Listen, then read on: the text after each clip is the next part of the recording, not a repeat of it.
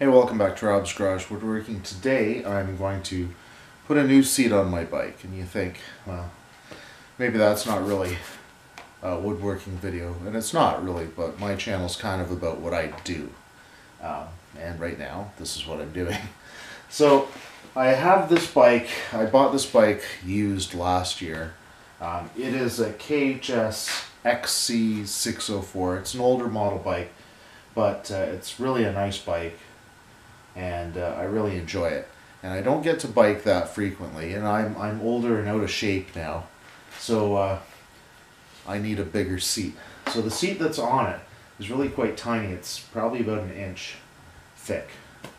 And this one, it's the same manufacturer, WTB, and it's you know almost two inches thick. So I'm gonna replace it. And another thing with this seat is I never found it all that comfortable because it was tilted back too far and the seat originally was on a bit of an angle so I bent it straight because the bars were bent on the bottom. So I got it straightened out but it leaned back too far and I just never found it all that comfortable. And the adjustment's right here. So it's a, an interesting seat post um, design. It uses a couple of Allen keys straight up into the uh, clamp here and it's really a lightweight uh, unit. And it's much lighter weight than the other ones that I have on my bikes and I'll show you a little close-up of that after. But right now what I need is this is metric so it's actually a 5 mil Allen key. So what we're just going to do is put that in loosen that off. Okay for those of you who don't use Allen keys that often uh, use it this way to loosen it. Once it's loose, then you can turn it like this really easily. Okay, so grab it like this.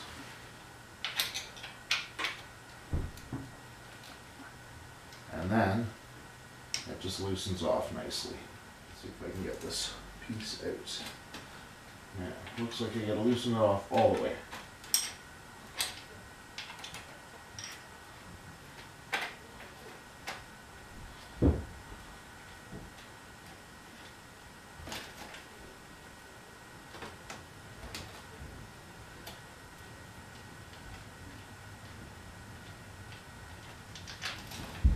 I'm going to take these right out.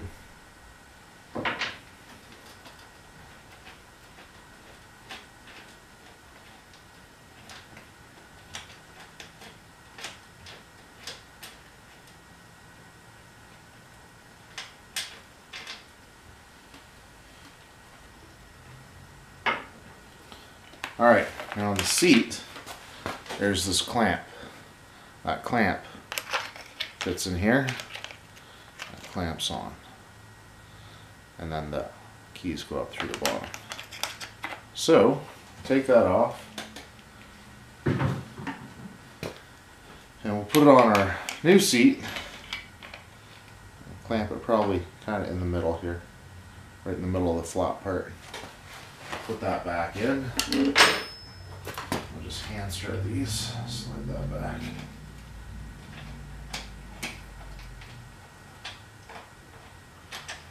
Order to hand strut it, put your finger up here. Hold on to it. Alright, so here's a close-up view of the seat post. Okay, it has the Allen key, then it has this little piece here that actually has teeth in it, and this has teeth in it too.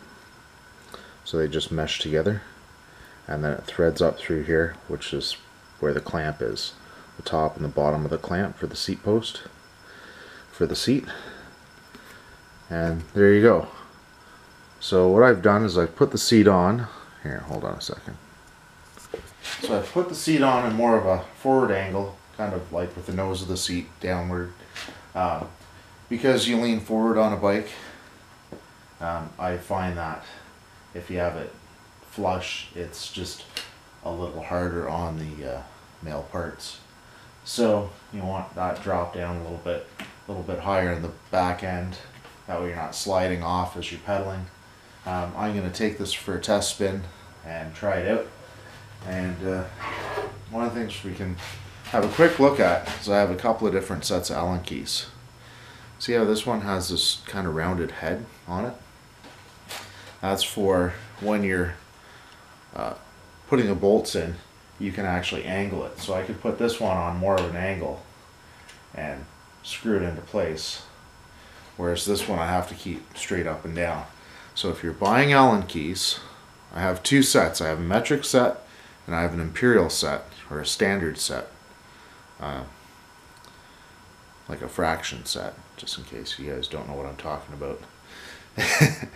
and this one was available with this type end, which is really great. Um, this one wasn't, so unfortunately I have to you know, live without that. But if I get a chance to get a metric set that has this, I will do it. Anyway, just something to look for with your Allen keys. Make sure you get a good set. You'll you'll use them for the rest of your life, so you might as well get a good set. I like uh, these ones are Chescos. I like the fact that they come in this little index, and uh, they're really easy to store, and generally they don't come out. I'm pretty happy with them. I think I got these from Princess Auto. So, and then I have the uh, Imperial set, which is a slightly larger set for some reason. But same company, same kind of index, uh, really great. And it has the uh, modified ends on them so that you can put them on an angle. So really cool stuff. Anyway, um, I'm going to take my bike out for a spin.